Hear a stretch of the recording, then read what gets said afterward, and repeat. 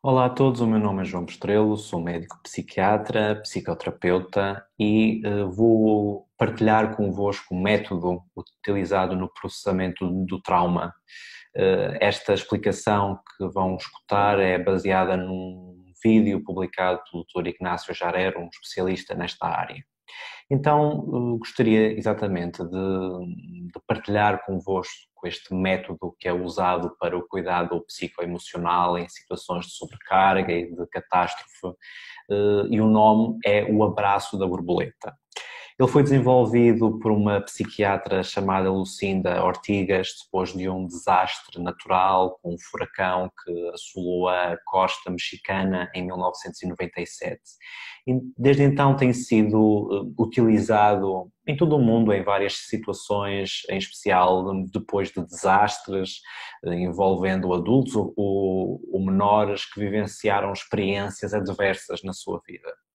Trata-se de um método de estimulação bilateral eh, que é administrado com o intuito de processar experiências de vida adversas. A pessoa que o realiza tem controle total sobre o método e, portanto, pode ser realizado em qualquer local.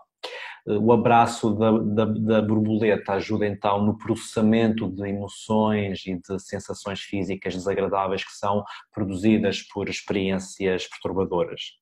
Então, neste momento, vou demonstrar como fazer este abraço.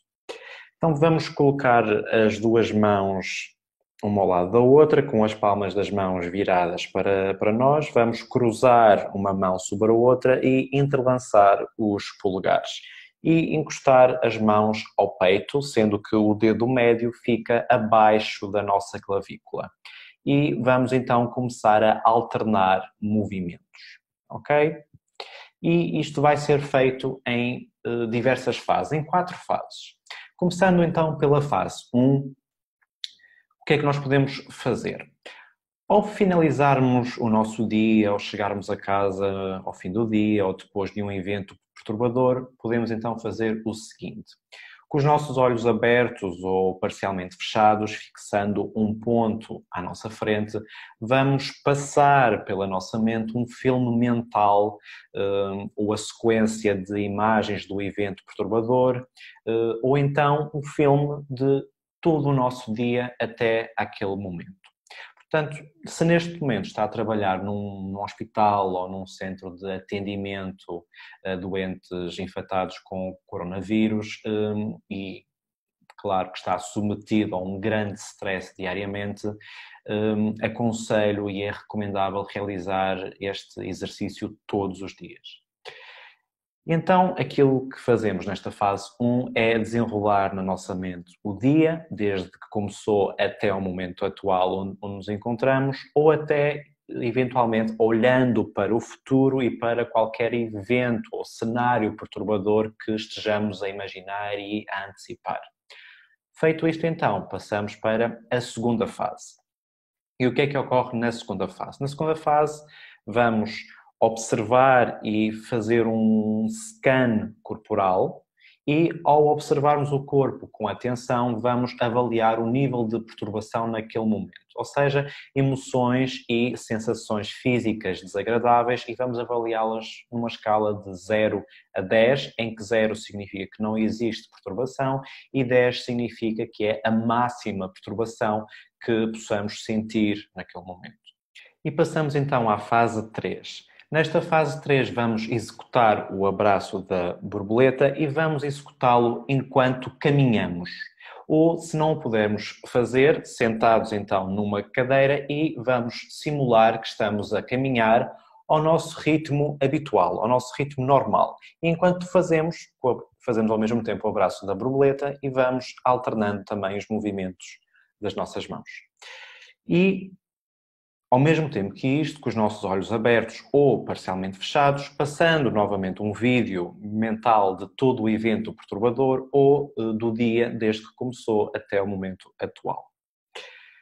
Ou então ainda do tal cenário futuro, mais catastrófico e que estamos a antecipar.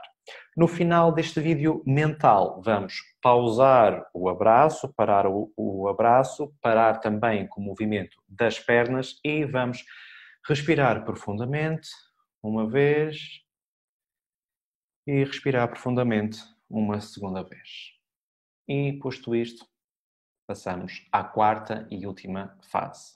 Então, novamente, vamos observar e vamos escanear o nosso corpo com atenção, avaliar o nível de perturbação, que já sabemos que são emoções ou sensações físicas desagradáveis, e uh, vamos então av avaliar este nível de, de, perturbação neste momento após o abraço da borboleta, de 0 a 10, em que 0 é nenhuma perturbação e 10 é o máximo de perturbação que podemos sentir.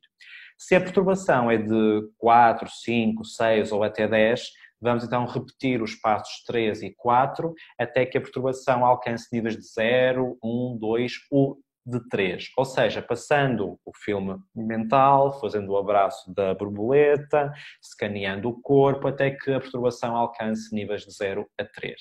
Se os sintomas perturbadores, e isto é muito importante, se os sintomas perturbadores não diminuírem ou, pelo contrário, aumentarem, com uma série de movimentos de borboleta, então o recomendado é contactar um especialista em saúde mental com experiência em trauma.